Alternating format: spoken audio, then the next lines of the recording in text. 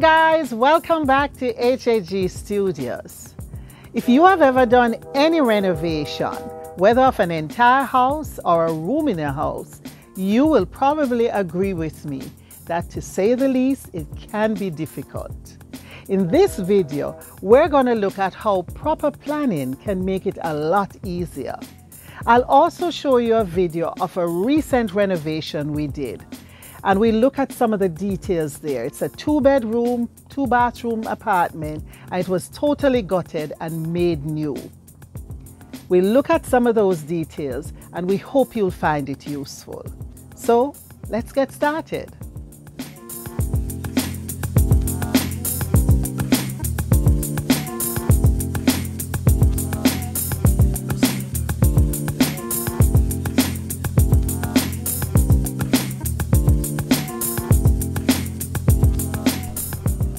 Renovating your house, especially when you have little or no experience, can be a very frustrating experience. There are so many things that can go wrong, but with proper planning, the end result can be very rewarding.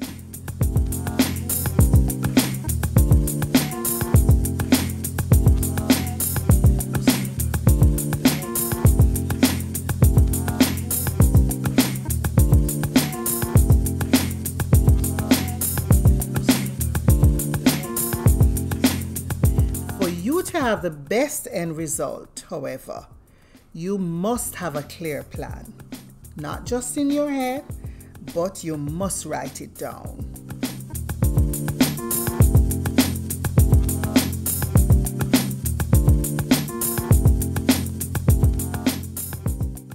Make a list of must haves, things you definitely have to change. For example, Will you need new kitchen cupboards? Will a bathroom need to be completely gutted? Will tiles need to be removed and new ones installed?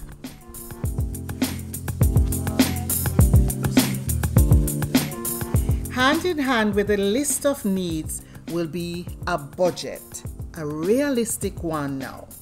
Remember, you can't want the whole world when your budget only allows for a tiny, tiny island. Get an idea of the real cost of things by shopping around and then maybe add about a 15% to that. As I guarantee you, it's gonna cost more.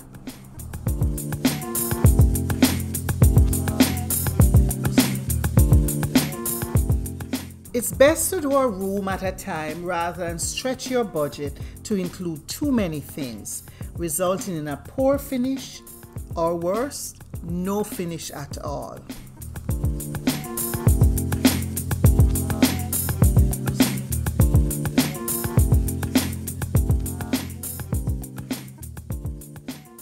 Be honest with yourself about what you can really do. Do not attempt DIY projects when you really don't have the necessary skills or the time. Even with YouTube videos, there are certain tools you will need and everything appears easier on these videos. Get recommendations for a contractor or for skilled workmen. You will save yourself a lot of stress, even though they sometimes come with stress.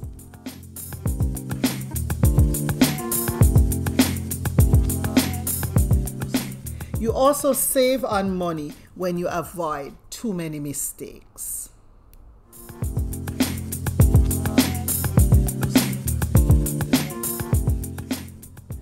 Make a floor plan for each room by measuring and plotting on graph paper. If you're so inclined, you can use one of the programs that are available on the internet for this.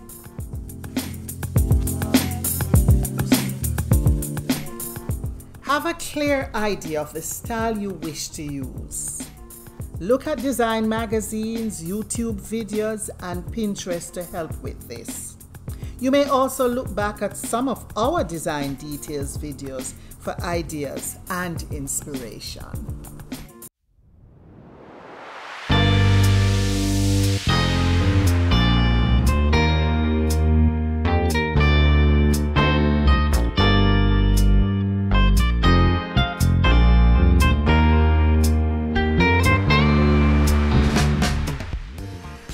A clear progress order. This is so important. Literally write a schedule of the order in which things are to be done. For example, demolish floor tiles and wall tiles. 2. Remove debris to the outside. You may want to do a total removal of debris at the end because it's much more cost effective. 3. Remember to lock off water. 4. Install mixer for shower. 5. Install other plumbing and electricals in walls.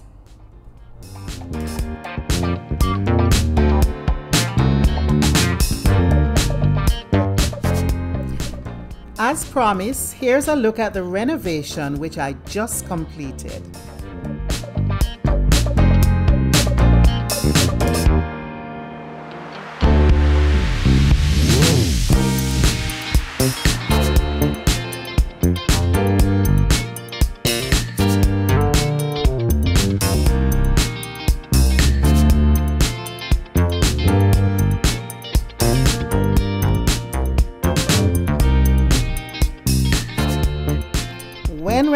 Renovating, you have to expect the unexpected. The original floors in this apartment were parquet tiles, which were in pretty good condition, even though they were about 30 to 40 years old. But our client wanted a more contemporary look, so we decided on large porcelain tiles with a bit of sheen.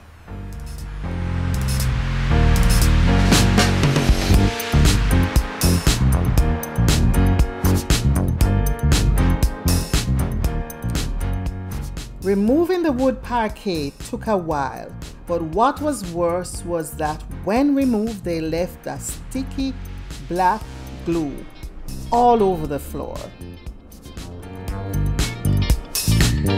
We tried so many things, including hot water and vinegar, and had no success. But we knew leaving the film of glue might compromise the tiles which would be laid. After about a week, we finally found a machine which we rented from Total Tools. They also recommended someone to use the machine. And voila! It was all gone in a half a day.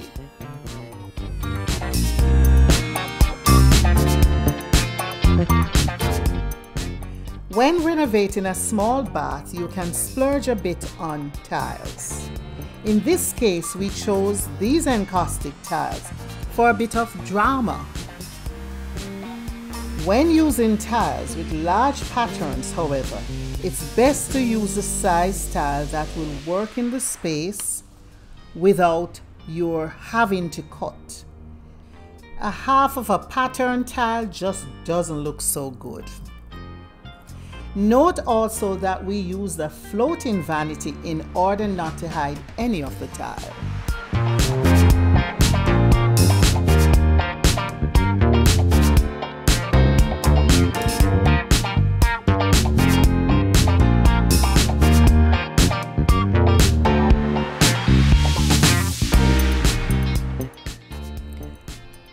When including a niche for shampoos, soaps, etc., this should be done as soon as the old tiles are removed.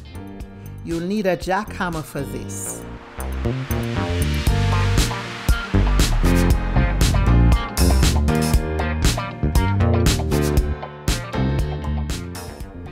In the master bathroom, I made the niche the full size of a tile. In the smaller bath, I thought a niche like a piece of art, a shadow box, would be interesting. So I made it the size of four tiles combined.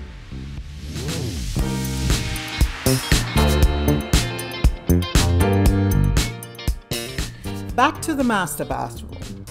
The section of the wall-to-wall -wall vanity, which is close to the toilet, was left as open shelving or storage. Doors would be difficult to open there.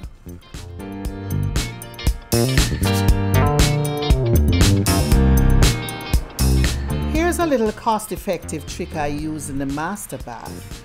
Rather than tile the wall behind the mirror, which would be mostly covered up, I decided on an accent paint color which I picked up from the tile. This saved some money but also added a surprising color to the room.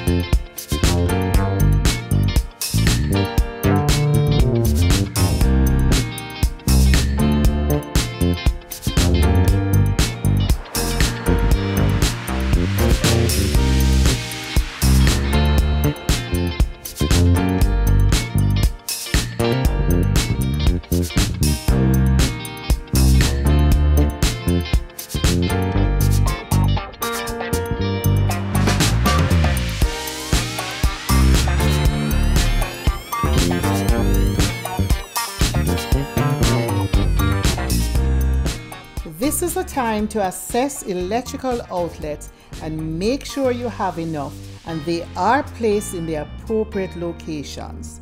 You should have no need for extension cords when you're done. If you plan to place a TV on the wall, a plug should be where it's behind the TV. No cords or wires should be hanging below.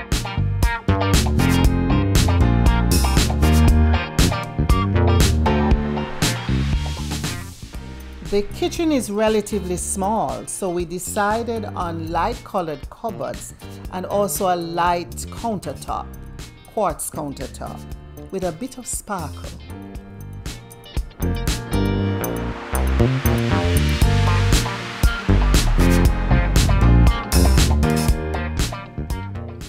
For the microwave, it's best to place the plug inside a nearby cupboard for easy access. For this, you'll need a small opening in the side of the cupboard.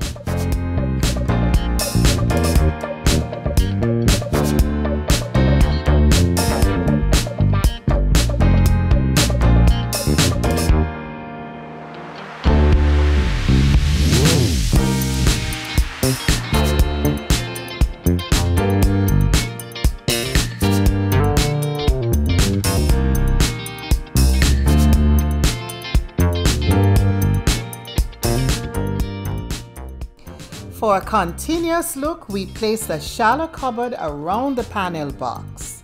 Still easy access, which is very important.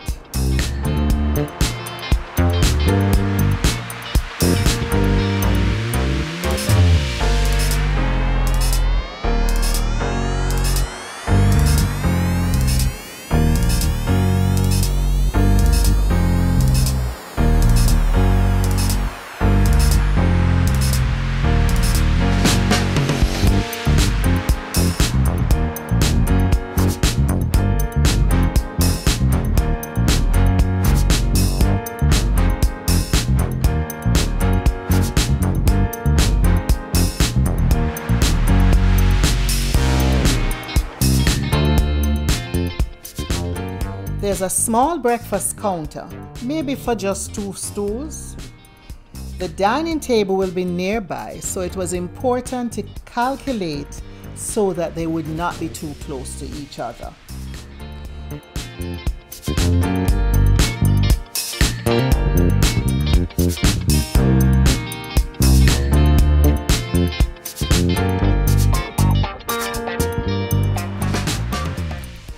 the overhead light is placed so it will be centered over the dining table. I just love that light fixture.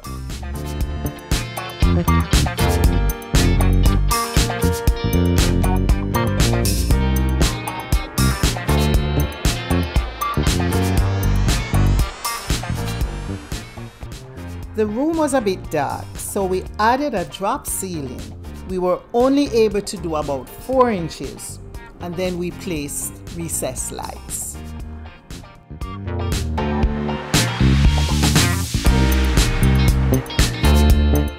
I hope you found that useful and your renovation projects will be a lot easier. Thanks for watching and see you next time.